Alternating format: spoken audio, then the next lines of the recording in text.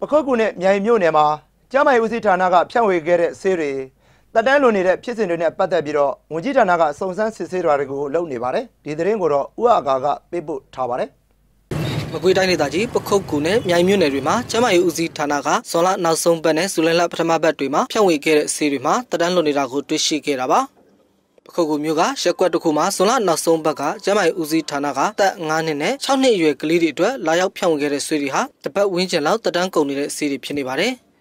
ထပ်မံပြီးဇူလိုင်လပထမပတ်ထဲမှာကျမကြီးဦးစီးဌာနကညိုင်မြို့နယ်တွေကကျောင်းတစ်ကျောင်းမှာဖြန့်ဝေတဲ့စီးတွေဟာလည်း2015ဇွန်လကတည်းကတက်တန်းလွန်နေတဲ့စီးတွေပါ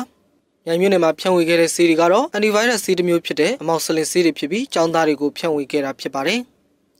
ဒီစီးတွေကိုဒေသခံတွေကသတိပြုတွေ့ရှိခဲ့ပြီးမနိုင်ငံစားသုံးသူကာကွယ်ရေးအသင်းကိုလာရောက်တိုင်ကြားခဲ့တဲ့အတွက်အသင်းကဝင်ကြီးဌာနကိုတဆင့်တိုင်ကြားခဲ့တာပါဒီကိစ္စနဲ့ပတ်သက်လို့ဒေသခံတွေတော်တော်လေးစိတ်ဆိုးဒေါသထွက်နေတယ်အဲ့ဒါဆရာတို့အသင်းကိုတရားစွဲပေးဖို့တောင်ပြောတယ်ဒါပေမဲ့ဆရာတို့ကဝန်ထမ်းစည်းမျဉ်းစည်းကမ်းအရကျမကြီးဝင်ကြီးရတဲ့အစ်စ်ဖြစ်တဲ့အတွက်ဘယ်လိုအရေးယူနေဆိုဆရာတို့တစ်ချက်စောင့်ကြည့်မယ်အဲ့တော့ဆရာတို့ဘက်ကတော့ထိထိရောက်ရောက်အရေးယူပေးဖို့ဒီနေ့ဆရာ ပြည်တော်စုဝင်ကြီးကိုဒီနေ့အားနေဆရာတို့ကတောင်းဆိုတယ်ဒီဖြစ်စဉ်တွေနဲ့ပတ်သက်ပြီးမြန်မာနိုင်ငံစားသုံးသူကာကွယ်ရေးအသင်းကဇူလိုင်လ22ရက်နေ့ကအင်းစိန်မြို့နယ်ရောင်ကန်ကြီးသာသနာရှိတာမှာသတင်းစာရှင်းလင်းပွဲပြုလုပ်ပြီးရှင်းလင်းပြောကြားခဲ့တာဖြစ်ပါတယ်။ဝင်းကြီးရုံးကနောက်ဆုံးအခြေအနေကတော့ဆရာတို့ရဲ့အကုတ်ပြန်တောင်းအောင်အကြောင်းပြန်တယ်ဟဟလားသူတို့ဆရာတို့ရဲ့တိုင်ကလက်ခံရရှိထားပြီးပါပြီအရေးယူဖို့အတွက်